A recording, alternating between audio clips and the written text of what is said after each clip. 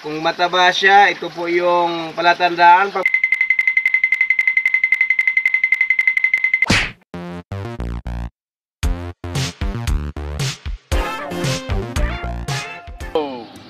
Good morning mga kakrabmate. Now, sa episode na to ay katulad ng nagtatanong sa akin na paano malaman ang mataba at mapayat na alimango. Ngayon, ituturo ko sa inyo sa isang innovation ko, meron din tayong uh, mag-harvest din tayo doon ng ano, 17 pieces. So, doon ko illustrate kung gaano, uh, paano ang matabang babae at matabang lalaki.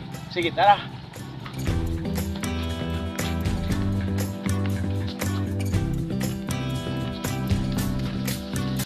Okay, uh, dito po tayo ngayon, no? Kukuha tayo dito ng 16 pieces na mataba na mga alimango.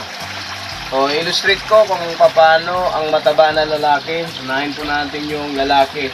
Okay, dito tayo sa isa. Mag-harvest po tayo. Okay.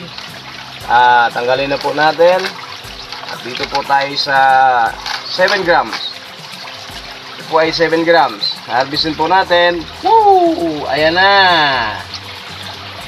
Okay. Taba po yan. Paano i-selection? Ang taba.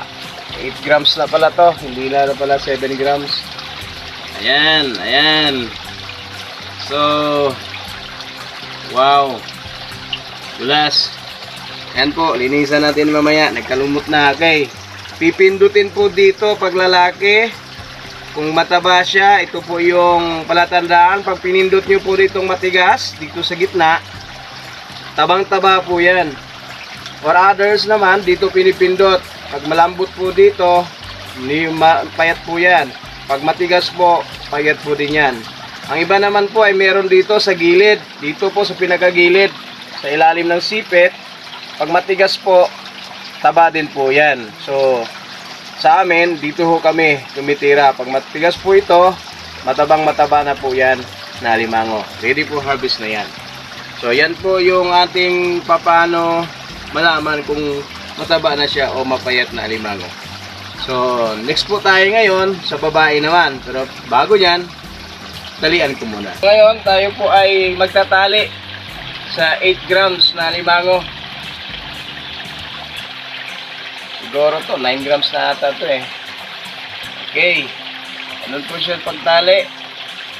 Para po sa gustong matutong magtali, medyo ingat lang po tayo kasi yung alimango ay talagang hindi mapaamo. Naninipit po yan. Bigas. Ano kasi, malaki. Okay. Ah, ganun po yung ano, pagtali natin. Hirap. Ayan. Ayan. So, dapat po nakasara ho talaga yung ano, yung panipit niya para hindi po siya makakagat at hindi po siya makadamage ng iba mong hinarvest na alimango. Ayan. Okay. Ayan. Ayan po siya. Nakasara ng tudo ang isa. Dito naman sa kabila, sarahin po natin. Hmm. Ayan. Para siguradong sigurado tayo. Itong klaseng pagtali na to, ito po yung pong pang-export na pagtatali.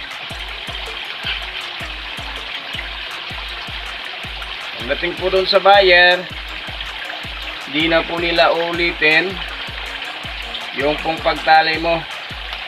Kasi ganito po talaga yung pang-export na tali. Ayan. Siguraduhin na mahigpit na mahigpit. Kasi malakas po yung alimango. Pag hindi po yan mahigpit, ay luluwag po yan. Magtataka ka, ba't lumuwag?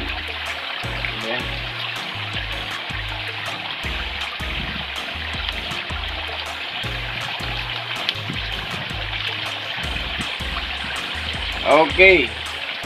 Tapos na po tayo sa ating pong pagtatali.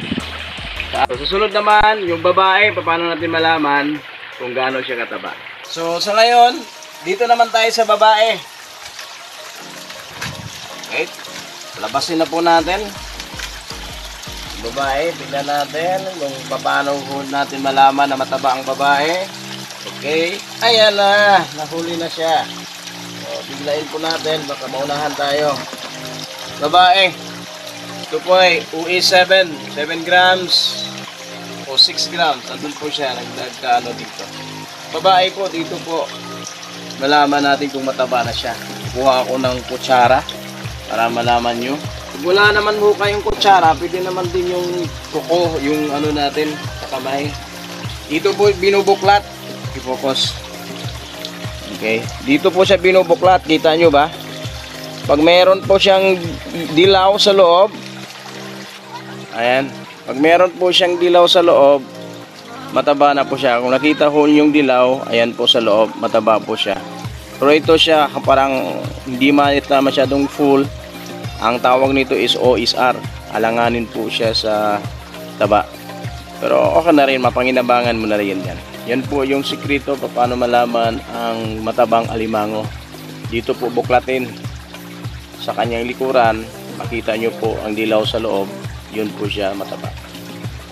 So para po sa nagtatanong, yan po pa paano malaman ang matabang alimango. So salamat sa patuloy pagsubaybay sa aking YouTube. Huwag po tayo lalo pang pagpalain ni Lord. And sa sunod po nating episode, marami pa po akong idagdag sa YouTube. So far, napakaganda po itong negosyo to dito.